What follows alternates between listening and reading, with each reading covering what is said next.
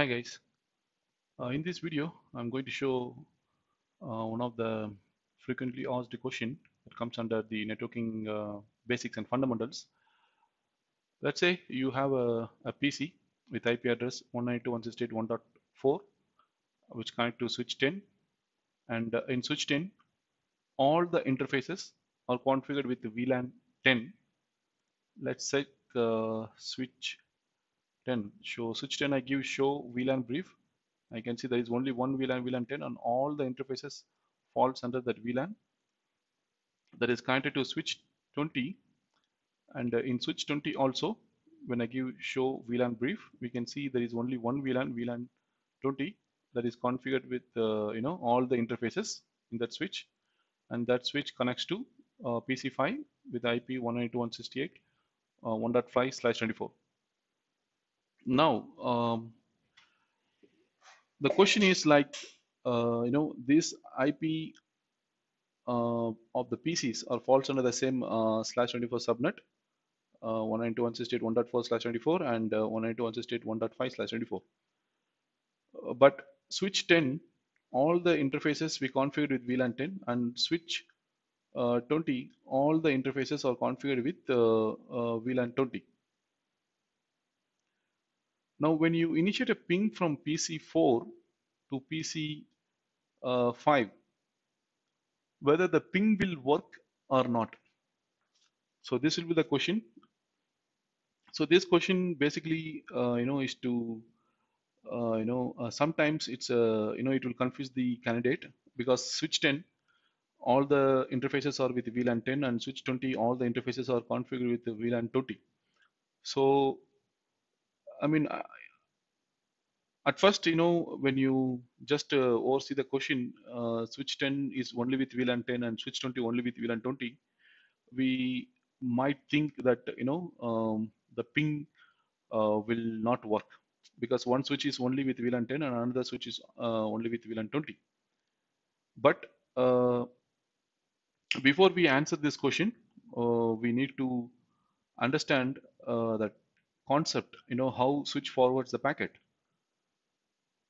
When the switch receives and sends a packet out of the outgoing interface, if the outgoing interface is an access port, it will strip off the VLAN and then it will send only the IP packet. And when the packet uh, reaches switch 20, it will add the VLAN configured on that particular port if the port is a access port. And if the interface configured between the switches. It's a trunk port and if the VLAN is not allowed on this interface the switch will not forward the packet out of that trunk port. Because the VLAN tag information is carried over the trunk port not on the access port. So I repeat again like when the switch port that is connected to another switch if it is an access port it will strip off the VLAN and it will send only uh, I mean the frame without the uh, VLAN ID on it. But if the interface connected to another switch is a trunk port um, it will send the packet out with VLAN tag 10 only if the trunk port is allowed with that uh, uh VLAN 10 in this case uh, if it's let's say if it's a trunk port and you send out the let's say VLAN 10 is allowed here it sends uh, it goes out. But when it received in switch 20 uh, switch 20 if it is all interfaces including the trunk features uh, it's configured only with VLAN 20 the switch will drop the packet because it doesn't match with the VLAN 10 so in this uh, example which I showed um, both the switch 10 and 20 are configured with the access port check the running configuration. You can see all the interfaces uh, like uh, 0102 with the switch port access 10 so it's an access port.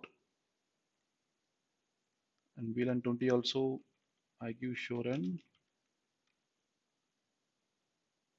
we can see uh, all the interfaces with the switch port access VLAN 20 so when all the interfaces or I would say the interface connecting between the switch uh, 10 and uh, 20 if it's access port the ping should work. We'll see that. So I'm from, uh, you know, I'm in switch PC4 actually. I'll show that IP config. So the IP is 192.168.1.4. Let me initiate a ping to 192.168.1.5.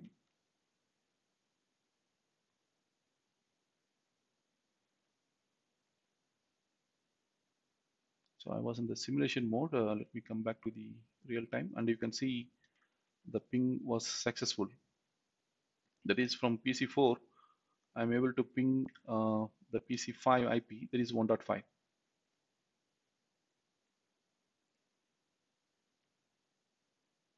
So when I initiate a ping, the packet reaches switch 10 and switch 10, all the interfaces are in access port and all the all of them with the VLAN 10.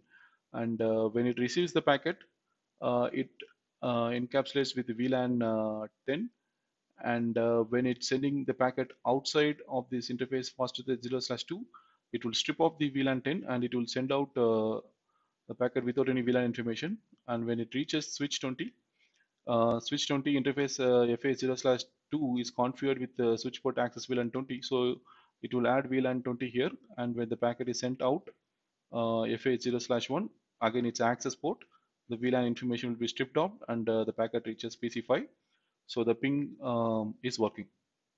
Now, uh, when I configure uh, this uh, interface, you know, between the switches as a trunk port, and I, if I allow only VLAN 10 here and VLAN 20 here, the ping will fail.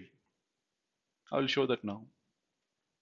So I'm in switch 10 into config mode and um, so I have to change this FA 0 slash 2 in both the switches into trunk port. Okay, FA 0 slash 2 to config mode. Okay, mod in config mode interface FA 0 slash 2 port mode trunk. Switch mode trunk.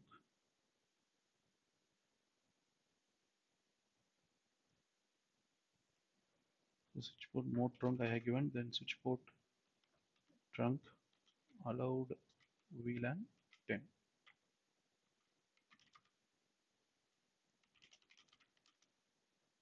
so now on interface that is connected to another switch. I have given uh, switch port trunk allowed VLAN 10 switch mode mode trunk.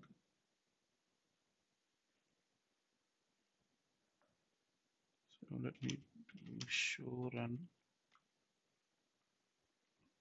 so this switch port interface uh, 0 slash 2 I made it to a trunk port and I'm allowing only VLAN 10 uh, same thing we'll do on uh, switch 20 also so right now it is with the access port so 50 interface FA 0 slash 2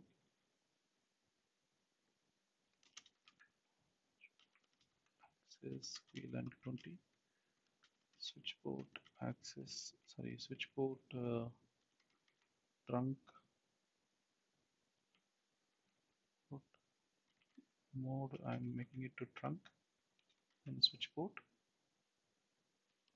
trunk. Allowed VLAN sorry here I'm going to give 10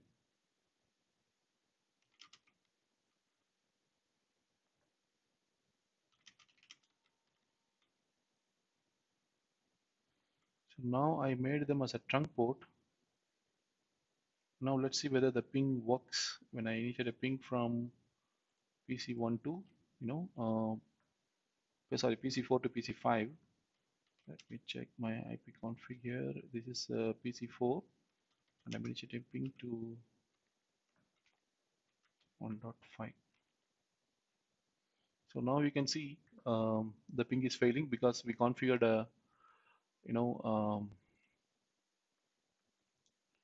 the switch port uh, you know that is connecting between the switches as a trunk port so when you configure as a trunk port and allow VLAN only 10 here the packet will go out and uh, it will reach uh, I mean when it goes out it will be tagged with VLAN 10 and when it reaches uh, switch 20 on this trunk port in which we allowed only VLAN 20. So when the packet uh, comes with VLAN 10, I will simply discard that.